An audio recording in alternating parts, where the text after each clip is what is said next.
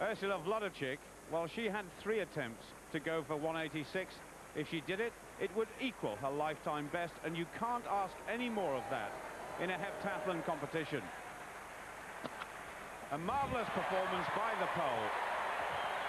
The crowd loving every minute of a fine contest. And it meant that Wlodarczyk went to the top of the table after two events, 2,107 points. Ghada she was in fine form in second place, and Sabine Braun, the European champion, was in third. But Denise Lewis dropped a couple of places in that high jump discipline moving into the third event, 1,999. She was in 10th place.